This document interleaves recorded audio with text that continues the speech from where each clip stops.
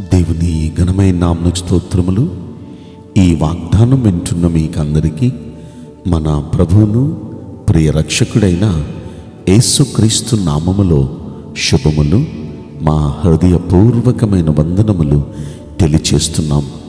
ఈరోజు దేవుని వాగ్దానం సమూయేలు మొదటి గ్రంథం ఇరవై ఆరవ అధ్యాయము ఇరవై ఐదవ వచనం.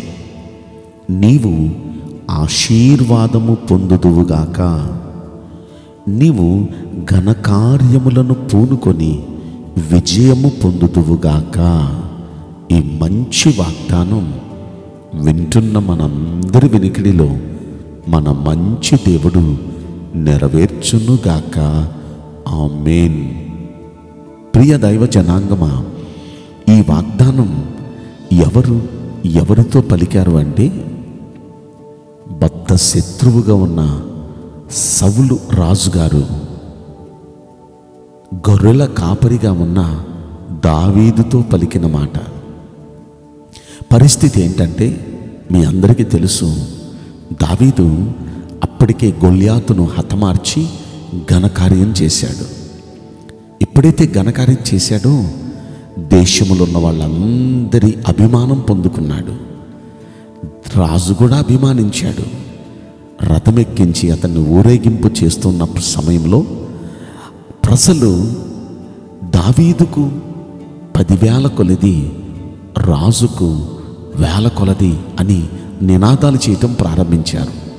వెంటనే అతనికి అర్థమైపోయింది నాకంటే ఎక్కువగా ఇతన్ని అభిమానిస్తున్నారు ఇతను లేకుండా చేయాలి అనుకున్నాడు. ఇక అప్పటి నుండి చంపటానికి ప్రయత్నం చేస్తున్నాడు. చంపుతాడనే భయంతో పరుగులు తీస్తున్నాడు దావీదు.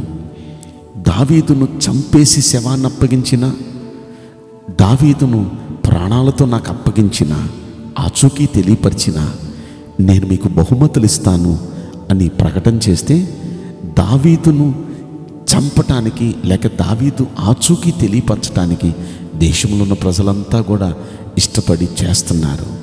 ఈ సమయంలో దావీదు దేశం వదిలిపెట్టి అడవుల్లోకి వెళ్ళిపోయి కొండ గుహల్లోకి వెళ్ళిపోయి దాక్కుంటున్నాడండి. ఇలాంటి దుర్బలమైన పరిస్థితుల్లో అక్కడ ఉన్నాడన్న సంగతి విని ఎప్పుడైతే సౌల్ రాజు చెప్తున్నాడో సౌల్ రాజు వెంటనే తన దగ్గర ఉన్న సైనికులను తీసుకొని ఒకసారి ఒక రెండు వేల మందిని ఒకసారి ఒక మూడు వేల మందిని అలా వేల మంది సైనికులను తీసుకొని తనతో పాటు స్పాట్కు తనే వెళుతున్నాడు. తనే వెళ్ళి దావీదును చంపే ప్రయత్నం చేస్తున్నాడు. అలా అంతకుముందు ఎన్నో ప్రయత్నాలు ఎన్నో ప్రయత్నాలు చేశాడు. చేసిన ప్రయత్నాలన్నిటిలో దేవుడు దావీదును కాపాడుతూనే ఉన్నారు. దావీదును తప్పిస్తూనే ఉన్నారు. ఇదిగో ఇక్కడ ఆఖరి ప్రయత్నం. ఆయన ఈ అధ్యాయంలో మనం పరిశీలిస్తే జీపీయుల ఆ అరణ్యములో గిబియంలో ఉన్నాడన్న సంగతి సౌలుకు తెలిసేటప్పటికీ అక్కడికి సౌలు వెళ్ళాడండి. ఇప్పుడు ఈ సౌలు ఆ ప్రాంతానికి మూడు వేల మందిని తీసుకుని వెళ్ళాడు. మూడు వేల మందిని తీసుకుని వెళ్ళి అతను చంపుతాం అని వెతుకుతున్నాడు ఆ అరణ్యంలో. వెతుకుతూ ఉన్న ఆ సమయంలో అలసిపోయాడు. తన దగ్గరున్న వారికి చెప్పి నేను అలసిపోయాను. నేను కాసేపు నిద్ర తీస్తాను. మీరు దయచేసి కాపాడండి చూసుకోండి అని చెప్పి ఆయన పడుకుంటే ఆయన చుట్టూ ఈ వచ్చిన వాళ్ళంతా కూడా పడుకున్నారు. పడుకున్న సమయంలో దావీదు ఏం చేశాడంటే దావీదు దావీదుతో ఉన్న కొంతమంది ఇదిగో అందరూ నిద్రలో ఉన్నారు. మనం ఇప్పుడే వెళ్ళి అతను చంపేస్తే ఇక నువ్వే దేశానికి రాజు అవుతావు అంటే గబగబ దగ్గరికి వెళ్ళాడు.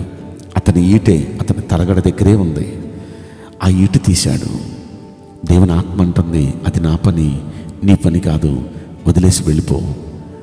ఆ ఈటను తీసుకొని అక్కడున్న నీళ్ళ బుడ్డని తీసుకొని ఆ ప్రాంతమును వదిలిపెట్టి దావీదు వెళ్ళిపోయాడు. వెళ్ళిపోయిన దావీదు అంతకుముందు ఏ విధంగా తగ్గించుకొని మాట్లాడాడో అదే విధంగా తగ్గింపుతో కేకలు వేయటం ప్రారంభించాడు. రాజును పిలుస్తూ మాట్లాడుతున్నాడు. రాజు ప్రక్కన ఉన్నవారిని పిలుస్తూ మాట్లాడుతున్నాడు. అది కూడా ఎంతో తగ్గింపుతో. ఇజ్రాయేలీల గొప్ప రాజు ఎవరిని వెతుక్కుంటూ వచ్చాడు? ఈ మిన్నల్ని లాంటి వాడినా లేకపోతే ఈ కౌజు పిట్ట లాంటి నన్ను తరుముకుంటూ వచ్చాడా? ఈ మిన్నల్లిని తరుముకుంటూ వచ్చాడా? ఎంత తగ్గింపండి?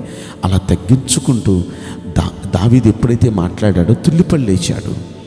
లేచి ఇదిగో ఈట నా దగ్గర ఉంది. నీళ్ళ బుద్ధి నా దగ్గర ఉంది.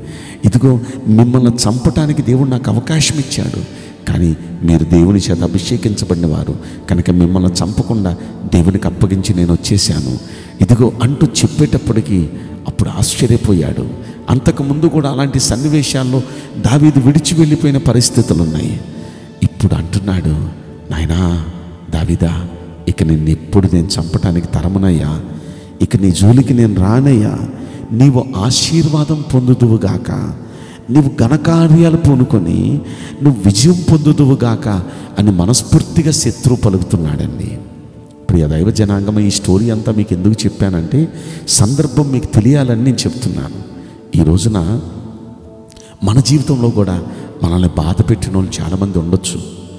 ఈయన ఎంతకాలం బాధ పెట్టాడో చెప్పనా తరిమాడో చెప్పనా? అప్పటికి పద్నాలుగు సంవత్సరాలు తరిమాడండి. అప్పటికి పద్నాలుగు సంవత్సరాల నుండి ఈయన తరుముతూనే ఉన్నాడు. అలా తరిమిన ఆ పరిస్థితుల్లో దేవుడు కాపాడుతూనే ఉన్నాడు. అయితే అప్పుడు అంటున్నాడు నిన్నిక తరమునయ్యా నీ జోలికి రానయ్యా. ఎవరైనా ఇలాంటి పన్ ఇలాంటి మంచోళ్ళు ఉంటారా ఇలాంటి నీతిమంతులు ఉంటారా నువ్వు నీతిమంతుడవయ్యా. అందుకే నువ్వు నీతిమంతుడు కాబట్టి నిన్ను పద్నాలుగు సంవత్సరాల నుండి తరుముతున్న నా ప్రాణాల్ని ఎన్నోసార్లు నీ చేతికి అప్పగించిన నువ్వు నన్ను చంపకుండా వదిలేసావే నువ్వు నీతిమంతుడు నిజంగా. అంత మాత్రమే కాదు నా ఎదుట ఎంతగానో నిన్ను నువ్వు తగ్గించుకొని మాట్లాడుతున్నావే. నువ్వెంతో వీరుడవు. అంతటి వీరుడవై ఉండి కూడా నా ముందు ఎంతో తగ్గించుకొని మాట్లాడుతున్నావే. నీ భక్తి గొప్పదయా. అంటూ తన మెచ్చుకుంటూ అంటున్నాడు. నీవు ఆశీర్వాదం పొందుదువుగాక ఈ రోజున దేవుని ఆశీర్వాదం కేవలం ప్రార్థన చేసేస్తే వచ్చేదండి. కేవలం గుడికెళ్ళి వచ్చేస్తే దేవుని ఆశీర్వాదం వచ్చేది. కేవలం ఏదో మనం స్థుతులు చేస్తే దేవుని ఆశీర్వాదం వచ్చేది. కేవలం ఉపవాసాలు ఉంటేనే వచ్చేది. దేవుని ఆశీర్వాదం మన మీద ఉండాలంటే ఇదిగో మనం కూడా ఈ తగ్గింపు మనసు మనలో కూడా ఉండాలి. ఎవరైతే తగ్గించుకుంటారో అలా తగ్గించుకున్న వారి దేవుడు హెచ్చిస్తాను అని చెప్పారు కదా. మనం తగ్గించుకుంటూ ఉంటే దేవుడు మనల్ని హెచ్చిస్తూ ఉంటాడు. కనుక ఈ వాగ్దానం వింటున్న మనందరం అలాంటి తగ్గింపు మనసు మనం కూడా కలిగి ఉందాం. రెండవది అతడు చాలా నీతిపరుడు. ఏంటి అతని నీతి అంటే తన తరిముతూ ప్రాణాలు తీయటానికి మేలు చేసిన తన ప్రాణాలు తీయటానికి తరుముతున్నా సరే ఆ తరుముతున్న సమయంలో అతని ప్రాణాల్ని తీసే అవకాశం దావీదుకు వచ్చినా సరే తీయకుండా వదిలిపెట్టేశాడే అదే నీతి. మన జీవితంలో కూడా ఇలాంటి నీతిని మనం నెరవేరుద్దాం. మనల్ని హాని చేయాలి అనుకున్న వారికి కూడా మనం మేలే చేద్దాం. మనం హాని చేయొద్దు. ఏసై మనసు కూడా అదే కదా. ఏసై కూడా పట్టుకొని అతని చిత్రహింసలు పెట్టిన వారి కోసం సిలువెక్కగానే ప్రార్థన చేస్తున్నాడయ్యా. వీరేం చేస్తున్నారో వీరికి తెలియదు వీరిని క్షమించయ్యా. ఈ శిక్ష వీరి మీదకి రానియొద్దయ్యా అని ప్రార్థన చేస్తున్నారు. అది ఏసై మనసు. ఈ రోజున ఆయన నమ్ముకున్న మనందరం కూడా ఇలాంటి దీన మనసు కలిగి శత్రువుకు కూడా మేలు చేసే మనసు కలిగి మనం ఉంటే మనల్ని దేవుడు ఆశీర్వదిస్తాడు.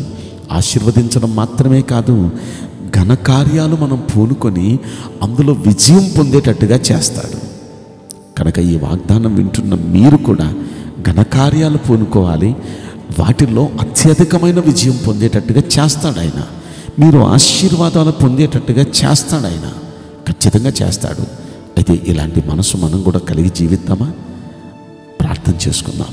పరిశుద్ధుడా ప్రేమగలేసు రాజా నీ పరిశుద్ధ బంగారు పవిత్రమైన నామ్మనకు నిండు మనస్తో కోట్ల కొలదిగా స్థుతులు స్తోత్రములు వందనాలు చెల్లిస్తున్నాం. ఈ వాగ్దానం వింటున్న ప్రియుల జీవితంలో దయచేసి ఈ వాగ్దానం నెరవేర్చి కృప చూపించమని ఈ కొద్ది మనవులు నజరుడని యేసుక్రీస్తు ప్రశస్తమైన నామంలో మిక్కిలి వినయముతో ప్రార్థించి బ్రతిమలాడి వేడుకుంటున్నాం. ప్రియ పరలోకపు తండ్రి ఆ main me God bless you all thank you